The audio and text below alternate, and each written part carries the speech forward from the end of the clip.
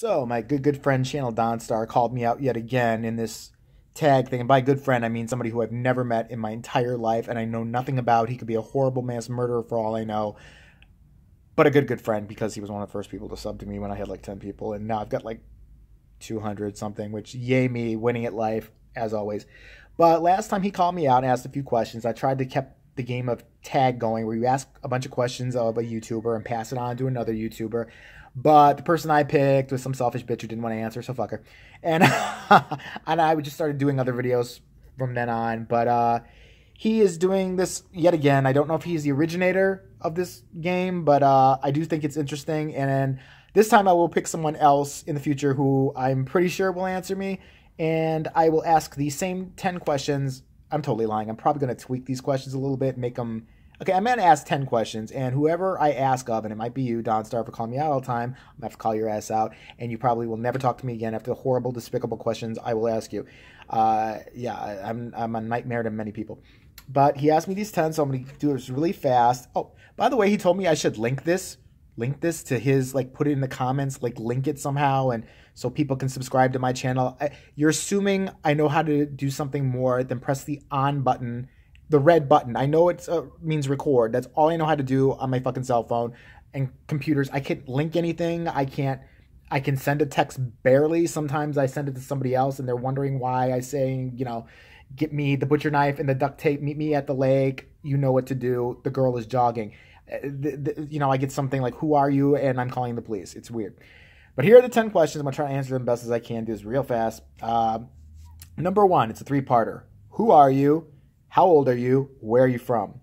Who am I? Am I is that like a philosophical question? I am mother, I am daughter, I am caregiver, I am life taker, I am tree, I am wind. I don't fucking know. Uh, who am I? I think it's pretty obvious. I'm a single gal trying to make it in the city with two crazy teenage daughters. Uh, my landlord is always barging him when he shouldn't be, and every time there's a situation in my life, there's a weird laugh track I can hear, and I don't know what's going on. I, I don't exactly know what that question means. Who am I? I am Jay. I have YouTube channel and I make many, many people mad.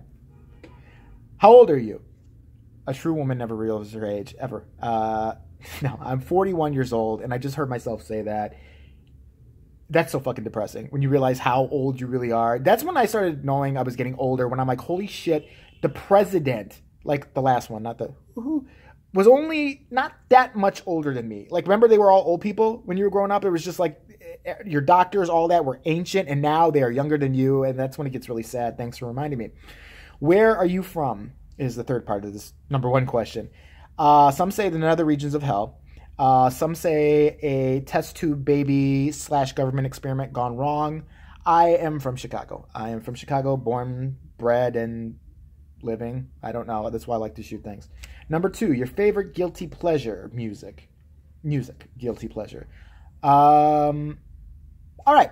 I'm to take some shit because I make fun of the bitch a lot. Madonna. Listen, I know, I know. I fucking want to slap myself for saying that. Listen, here's my defense of that. When I need to get motivated to run, I need a good beat. That bitch knows how to pick a good beat. I'm sorry. If you uh, can't move when you hear one of her up tempo songs, not that when she really tries to sing because we know the bitch can't, but you know, like a, a holiday or um, I'm trying to think something else, like a, a what a fast paced song, like burning up or something, the old school shit, not the new crazy shit that she does.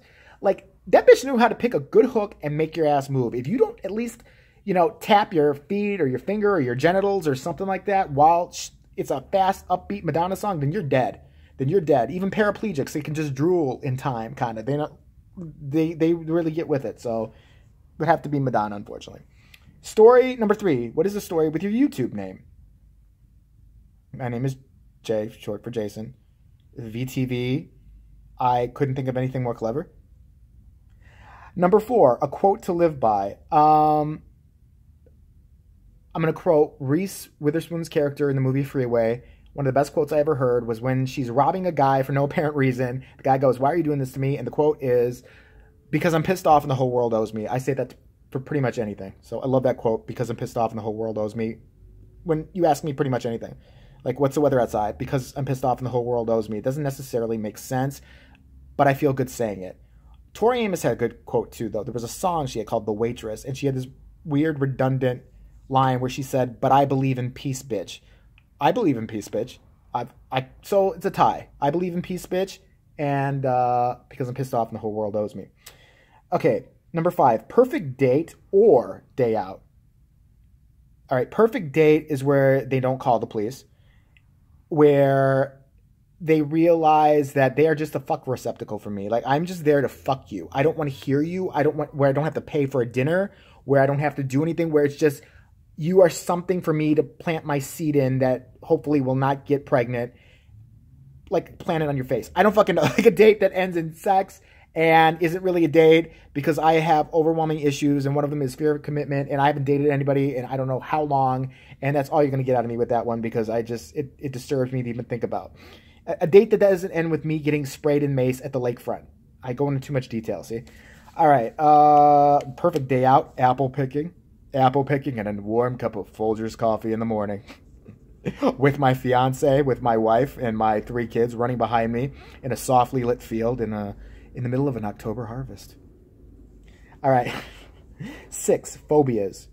Like I'm gonna fucking tell people on here. How dare you? I'm not gonna tell anybody my phobias because people hate me as it is. They're gonna use that shit against me. um, my phobias are of making a lot of money and people sending me lots of free money and good stuff. Please don't do anything with that. Please. I'm so scared. Number seven, what are your turnoffs? Religion. um, Southerners, for the most part, not all. Um, Donald Trump, pretty much any political figure. People who tell me I really should give Tyler Henry a chance and aren't functionally retarded, who are just really stupid. Um, there you go. Okay, number eight, a movie that you could watch forever. I don't think any movie I could watch forever because eventually that'd be like Guantanamo Guantanamo Bay torture, wouldn't it? Like it could be the best song I like in my entire life or best movie, and if you repeat it on a loop over and over, I'm pretty sure that's the definition of hell. That's something Satan would do. Uh, what movie do I really like and could watch many times, but not forever? Horror guy, so I'm gonna say The Exorcist. I like that one, and Halloween, the original, not that fucking horrible Rob Zombie. Why does he think his wife can act? What? Uh, I'm not gonna get into it. That's another video. She can't act. Stop putting that bitch in fucking roles for fucking 15 year olds. She's fucking 50 years old. She's probably already going through menopause and. I can't get started with this. I'm just not doing it. I won't. I cannot. Number nine, what would you do with your lotto winnings? It depends on how much I want. If I won $500, I'm going to go score Coke or something. Fuck it, I don't know. $500, I, I'll get a really good Starbucks card. I, if it's like a couple thousand, a car that isn't two decades old. Every car I had is at least like two decades old. It's fucking ridiculous. Um, and that has less than 100,000 miles on it. Uh, if I won like a couple million, okay, first of all, get a good Jew lawyer. You have to. They'll protect that fucking money if they're not stealing it themselves, and then have to have somebody watch that motherfucker. But I would not tell family. I would move far away into a really, really luxurious location with lots of protection so that they could shoo my annoying family members away who are looking for handouts and pretty much anybody else. Uh, even if somebody crosses my lawn, I want some. I want to hire a sniper who would shoot them. That's what I did on lottery winnings. Um, number ten, looks or personality. Okay, listen, Donstar. Let's, let's uh, come in, come in, come in. I want to talk to you for a second. You said personality. Stop the bullshit. Okay, that's it. personality. Um, there are plenty of burn victims out there with really, really good personalities. Can probably tell a great joke. Do you want to fuck them? I don't think so. I, I, am sorry. I'm not. I'm not trying to see. This is why I don't do these things. So I end up saying more and more horrible shit. Do you see what's the problem is with me? It's like I can't even. Okay, come on though. We all have seen the person with like the, the face that looks like a fucking Halloween mask because some horrible accident. God bless them. Hope they get everything they ever want in life and a new face, hopefully. But you know, one eye is always like leaking and they're drooling out of their mouth and they're on some talk show where everybody's like, "You are so beautiful. You are more beautiful than any other supermodel that's ever walked because it shows through you." Then tongue kiss it, tongue kiss it, and prove it, motherfucker. You're lying. It's fucking. It's gotta be looks. It's gotta be. I mean, yeah, looks. Okay, if somebody's a total douche, maybe, but I can still fuck them. I mean, so yeah, it's looks. All right. The last one was a bonus question. Favorite comfort food? I generally like to fuck like a, a freshly warmed muffin. Like that's comfortable. Like because you don't. I mean, you have to avoid getting the crumbs in your dick hole and shit like that. But you have to just really kind of ease in there and not too hot. You don't want it scalding. Like you don't want third degree burns and have to explain shit. but like just a, a, a nice moist, you know, 30 seconds where you just kind of dig in that shit. And then like, I think I read that question wrong. I think I got the wrong meaning of comfort food. When I'm sad, what do I like to eat? I was totally just lying about that last part. It's bullshit. I have never done that, especially not last Wednesday night. I did have to write these down like a retard because I never remember all these. Favorite comfort food. Uh, ah, the placenta of an unwed teenage mother. Of course. I mean, hello. So, yes, there you go. Hope you're happy with these fucking answers because that's the best I got today.